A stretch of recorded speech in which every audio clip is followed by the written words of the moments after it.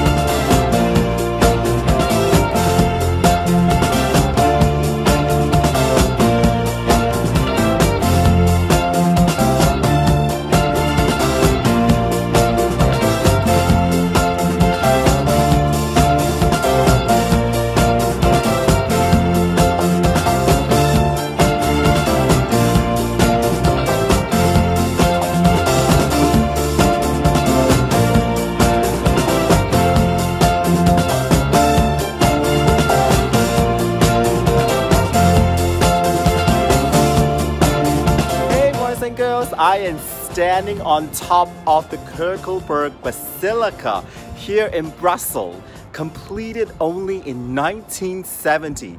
This basilica is the top 10 largest Roman Catholic church in the world by area.